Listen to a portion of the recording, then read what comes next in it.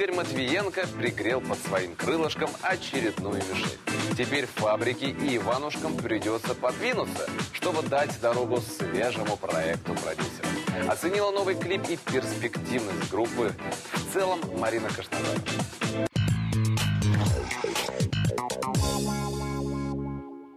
Новые подопечные Игоря Матвиенко, группа «Моя Мишель» дали сольный концерт. Я же твоя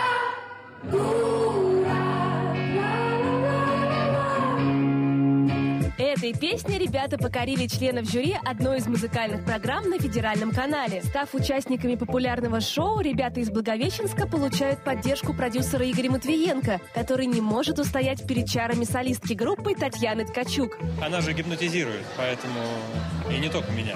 То есть все, все кто ее видит, она вот этим своим кошачьим мяуканьем и вот этими текстами, она вводит в такую э, в нирвану, транс. Моя Мишель времени не теряет и быстро выпускает клип на песню «Дура». На лицо схожесть.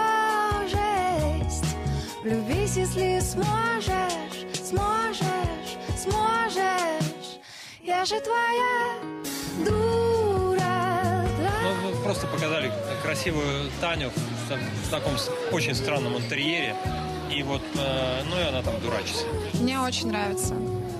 Мне нравится, что он э, динамичный, что он в пастельных тонах, э, что я в нем красивая. Группа «Моя Мишель» не стремится ограничивать себя рамками. Смешивает разнообразные музыкальные стили – и рок, и поп, и диско. Банда появилась в 2009 году. За это время музыканты успели поучаствовать в известных фестивалях и даже выиграли музыкальный конкурс Walk and Rock Battle. Мы получили возможность работать с Павло Шевчуком. Это сейчас один из самых крутых саунд-продюсеров в стране. И мне кажется, это будет какой-то лучший альбом в мире. Сам альбом уже под опекой Игоря Матвиенко группа планирует выпустить в ближайшее время. Марина Кашназарова, Женя Кириченко про новости.